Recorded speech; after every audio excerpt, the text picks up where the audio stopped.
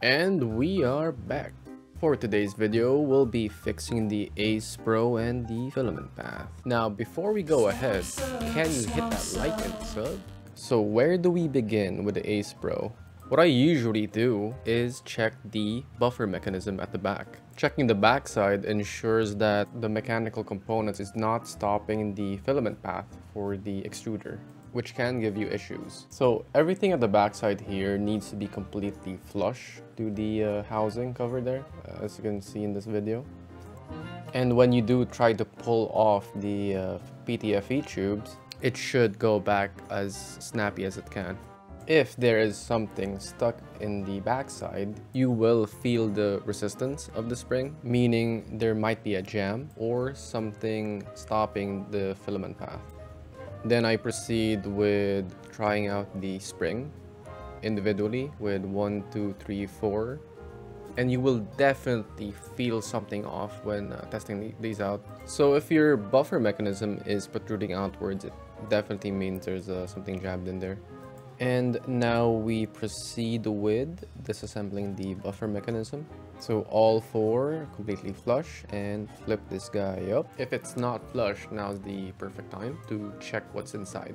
Back in the Kobra 3, there used to be four screws mounted on the Ace Pro unit, but uh, for the Kobra S1, it's only just these two right there. And we are pointing out where the two screws used to be. So it should be four, but for the S1 it is just two screws, at least for my unit. Disassembling the first screw, second screw right here, and we remove the cover for the buffer mechanism over there. Just find the right angle to remove this cover properly. Now that we have access to the buffer mechanism, have to pay attention to the magnet and screws. Really easy to lose some of these stuff when opening this assembly. Also, be careful, the spring can fly off easily when you open it up. And after removing the screws, there should be a latch that you need to open up. It's a plastic latch that you need to pry open or uh, you can use your hands to uh, get it up. And that's the plastic latch I'm talking about so it should be on both ends. Be careful. Might snap open in half or you might break the plastic part. And now we are trying to get the spring and removing the buffer some plastic parts. So there should be a proper alignment there showing you guys the two halves, uh, spring over there, and it's pretty much the buffer mechanism. Now it's actually very interesting how they made this buffer mechanism. So there's a magnetic encoder that detects whether more filament is needed. When it does trigger, it tells the stepper motor to push in more filament until your print is done. Now, the reason why a lot of people are getting errors with the Ace Pro or filament clogging is because of the buffer mechanism. So sometimes there's tangled filament or jammed filament inside of this buffer mechanism. You'll be able to see once you do open up your Ace Pro. Going back to reassembling the Ace buffer mechanism, you have to keep note of what orientation the plastic housing is. This is very important because it follows the cover that you use to keep this intact and move in the right way. For the final step of reassembly, we'll be flipping it up and putting back the two screws we removed earlier.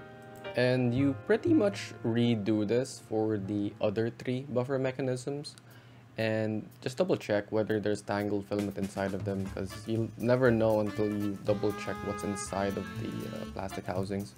So we're doing the final screw here. For the first one, we disassembled and assembled back again. And in this instance, I was double checking the snappiness of the springs we just double checked. A lot of things can go wrong when you actually don't double check the uh, movement and whatnot.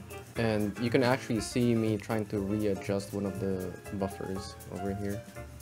Snap that into place. And an easier way to do this is you remove the blue clips and remove the PTFE tubes. You should be having a easier time reconnecting the buffer mechanism, but for me, I just proceeded with them having still attached because most likely there will be filament jams that you cannot remove the PTFE tube from so you know might as well keep it in in uh, this video example right here putting back the two screws we removed earlier doing some last minute checks right here and showing the working buffer mechanism out of the disassembly we've done.